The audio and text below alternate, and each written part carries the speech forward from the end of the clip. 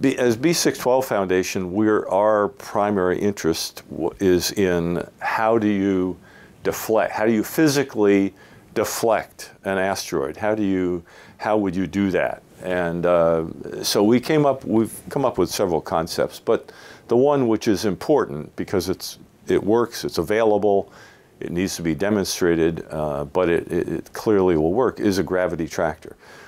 And the idea with a gravity tractor, uh, and in fact the challenge with deflecting an asteroid, one, one of the elements of the challenge, is you want to end up precisely in a new orbit. You, want to, you have to change the orbit of an asteroid, but you don't want to just randomly change it.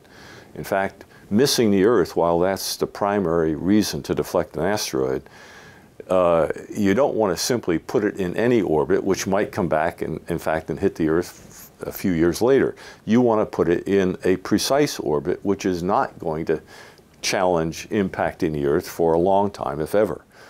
And so you need precision. And the thing which will give you precision at the end of a kind of brute force deflection is using a gravity tractor to make a very precise adjustment after the primary deflection, which puts you in the precision orbit that you want to be in. So a, a, a, gravity tractor works by having even a small spacecraft, but you know whatever you can afford to get up to the asteroid, and you pull up alongside the asteroid, and you, if you want to slightly increase its speed, you hover in front of it. You don't let it suck you down, even though it's weak gravity, it nevertheless has a gravitational force. And so gradually, if you do nothing, you're just going to sink down onto the surface of the asteroid.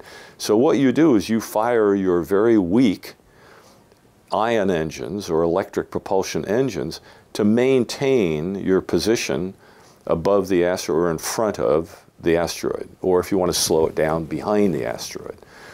And by maintaining your position, say a half a radius above the surface or off the surface, you are putting a very weak tow force, a towing force, on that asteroid.